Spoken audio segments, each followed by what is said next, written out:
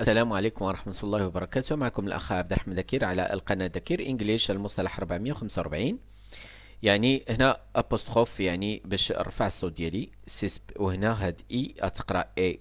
suspected. suspected. suspected. suspected. suspected. suspected. adjective نعت يوصف واحد الاسم يعني شي واحد مشتبه به.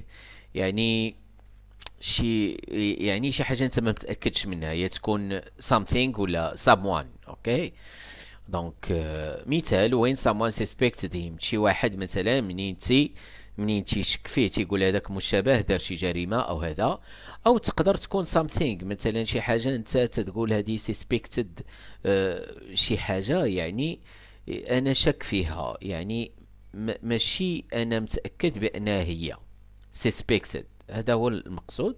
إلى أن نلتقي. والسلام عليكم ورحمة الله وبركاته.